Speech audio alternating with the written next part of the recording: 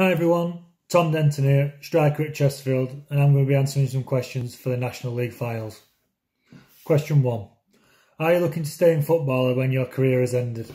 Um, no, probably not actually. I've never, it's never something that's interested me going down the coaching and managing route, and uh, I haven't got any coaching badges, so I'll be going, uh, I'll be looking to go back to what I was doing before, which was plastering for the past six or seven years, so yeah, I'll probably end up going back to that.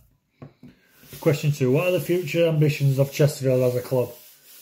Well, we've been in they've been in the football league for the last ten plus years, so that's main ambition is obviously to get back to the football league as soon as they can, really. But like I said, the national league's tough and it won't be easy, but we'll uh, everyone will be, everyone at the club will be doing the best to uh, get them back there.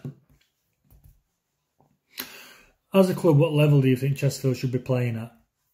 Well, if you look at the ground and the, the fan base and the the facilities, you'd say easy, easy League Two. But you're in you're in the league you're in for a reason. So we've got to, like I say in the last question, we've got to roll our sleeves up and we're the only ones that, are going to uh, do the club proud and get out of the league. Who, what player who plays in your position do you base your game on? Well, I love when he's fit and uh, and he's on it, I love watching Andy Carroll play. Um, in the strong in the air, good left foot, scores goals, and like I say, on on his days, he's unplayable at times.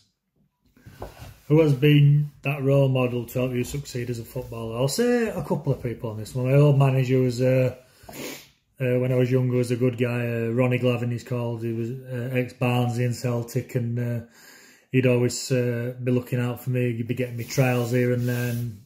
He's a good football man, really. And then obviously, I have to say my dad as well. He's he used to take me to games when I was nine, ten, and he still comes uh, to watch to watch me now at Chesterfield. So it's uh, I'd have to say my dad on that one. And uh, yeah, thanks for the questions, guys.